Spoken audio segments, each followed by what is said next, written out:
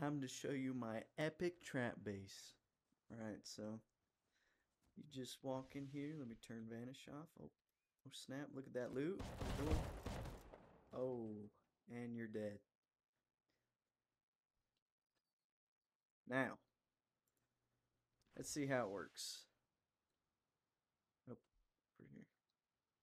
Alright, so when you come in here and you trigger it, the door does not open back up. So, but these will close. But they can just re-enable that by standing here. So they'll be stuck in here. So, see how the electrics look. Of course, we have our door controller up here. Want to be hidden so they don't get suspicious. Got all the uh, rugs to make it look cozy and hide the electrics. And then over here, we have the AND switch. So this root combiner right here.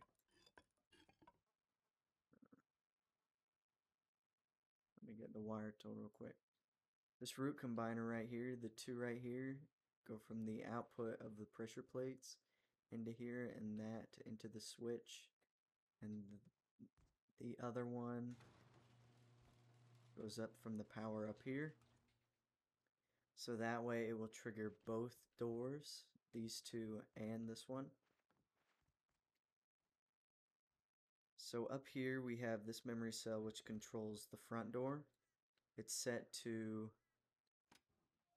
uh, stay closed when it gets activated, but the switch will uh, turn it back on. So it goes right here. I don't know why it's not showing. Weird. But yeah, so it goes the battery to or this to the combiner to the battery and then that to the power here connect that to that the splitter and the door controller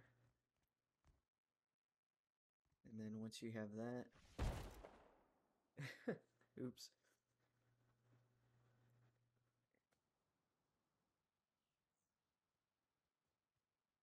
you have your trap base. So, very, very simple trap, not a lot going on. This is how it is when it's ready to be activated. Just come in here and once again,